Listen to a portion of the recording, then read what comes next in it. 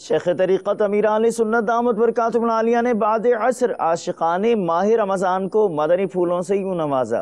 आपसे मेरा सवाल है कि बाज़ अवकात में माँ बाप बच्चों को गन जैन नालायक वगैरह कहते रहते हैं। इस बारे में इस बारे में आप क्या कहते हैं? और अगर वाकई कोई बच्चा जहनी तौर पर कमज़ोर हो तो क्या पढ़ना चाहिए? सियाती तौर पर बच्चे को मजीद कुंद जहन बनाने का नुस्खा है कि जब बच्चे को उस्ताद या माँ बाप कुंद जहन बोलेंगे ना तो इस तरह बोलने से ये होता है, बच्चे के जहन में ये नक्श हो जाएगा कि मैं पढ़ाई में कमज़ोर हूँ, मेरा उस्ताद बोलता है, मेरी माँ बोलती है, मेरा बाप बोलता है, वाकई मैं कमज़ोर हूँ, मैं कमज़ोर हूँ। तो इस तरह वो मतलब यानी कि कमज़ोर हो जाता है। जैसे किसी को बोलो ना, ये बहुत गुस्से वाला है हाय इससे बच के रहना, ये बहुत गुस्से वाला है। जलाली है, जलाली।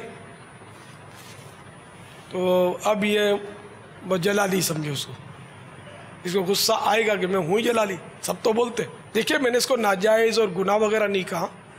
ज़रूरत अगर माँ बाप ने कह दिया तो उसको, है ना, गुनाह का तरतुब तो नहीं होगा इसमें तो कहीं मेरे हवाले से बोल ना दे कि इसने बोला नाजायज़ है।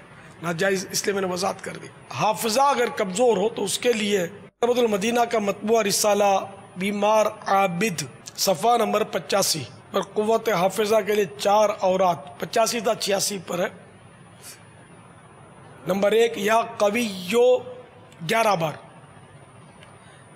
पाँचों नमाजों के बाद सर पर सीधा हाथ रखकर पढ़िए। रात सोते वक्त, या जल जलाल वलिक्राम तीन मरतबा पढ़कर तीन बादाम पर दम कीजिए।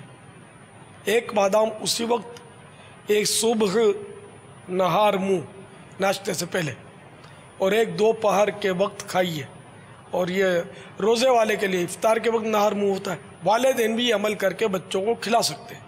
नंबर तीन, ला इल्लल्लाह, पाँच सौ चौंसठ बार, फाइव सिक्स फोर, पाँच सौ चौंसठ बार पढ़कर अल्लाह अज्जा वजल के हुजूर हिफ्ज़ में आसानी की दुआ कीजिए। कोशिश जारी रखने से इन वजल कुरान करीम हिफ्ज़ हो जाएगा। यह हाफिज़ कुरान के लिए था। या हियो या कयूम एक बार कागज़ पर लिखकर तावीज़ बनाकर बाजू में बंद या गले में डाल लीजिए। इन शाजल निसियान, यानी भूलने की बीमारी से छुटकारा हासिल होगा। या अलीमो, सात बार।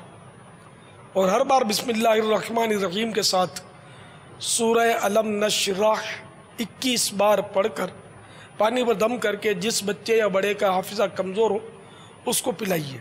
इन शाह हाफिज़ा मज़बूत हो जाएगा।